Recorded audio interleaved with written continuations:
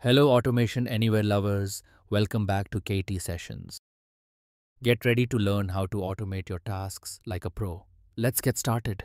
And today we are going to automate this login page and we will see some best practices and uh, some best logics which we should follow when we login uh, when we automate any login page.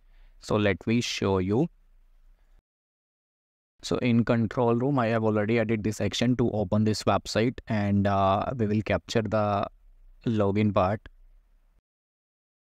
So first of all, we will uh, set some text in the email box, email uh, text box.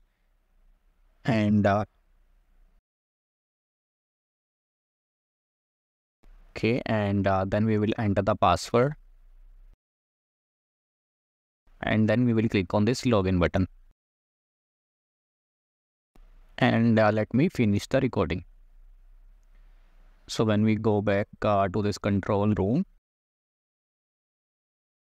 we can see all these actions which we captured recently Okay, so first of all, we are going to enter the email address uh, in the text box. Uh, this one, uh, this is the main object. Okay, so here we are going to enter the text, uh, which will be the email ID, and uh, let uh, this object properties as it is, and then we will enter the password.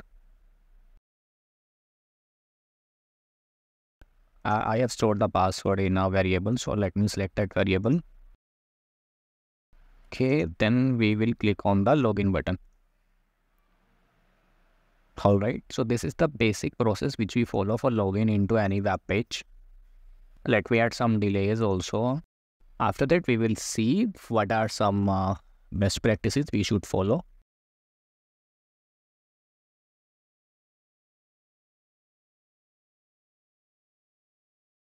So here we go. We can see this as uh, our bot has completed successfully and it has logged. It was able to log in into that web page. Okay.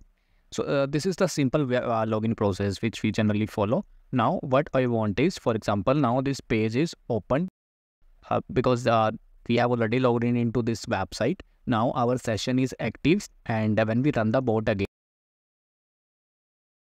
will auto automatically redirect it to the home page and it will not go to the login page because our uh, our uh, previous session is already active.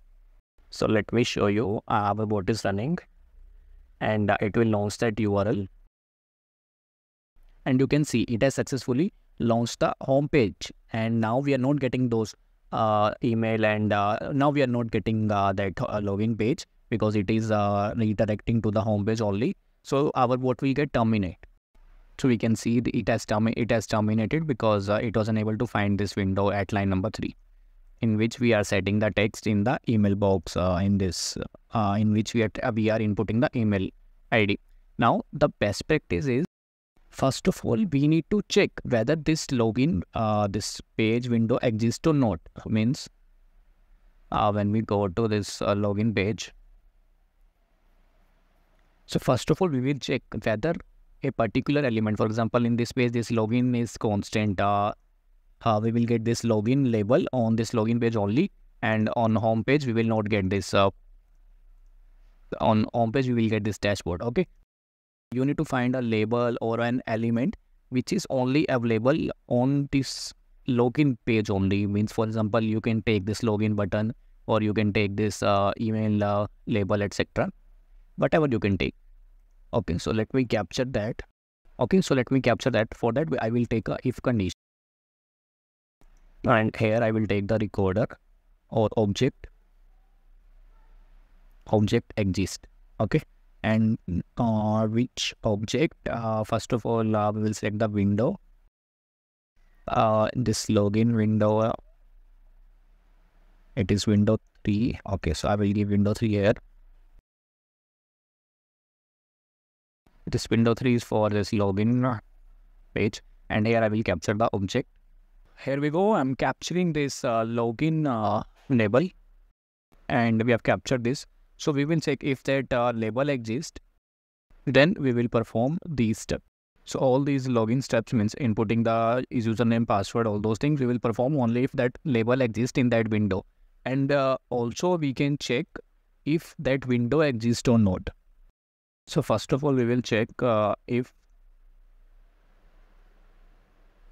window exists or not. Which window? Window 3. So if that window exists, then we will check whether that label exists or not. Then only we will perform these login steps.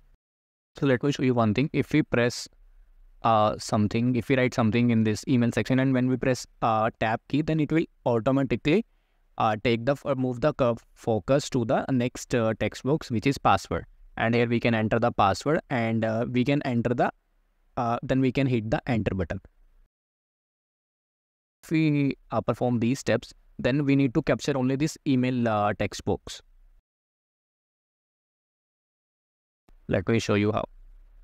In set text only we will use this we will write this email address then we will press tab key and for tab we will use this keystrokes and here we have tab. And after tab we will write the password.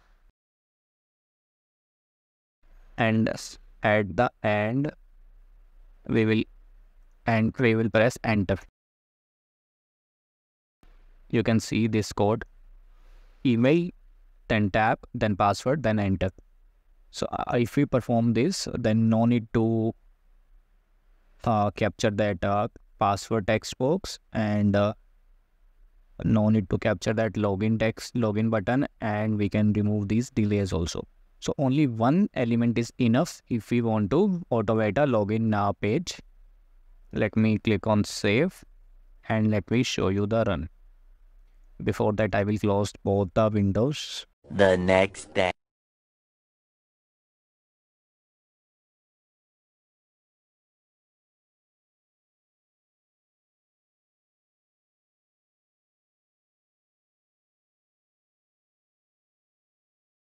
So as we can see, it has successfully logged in into this website.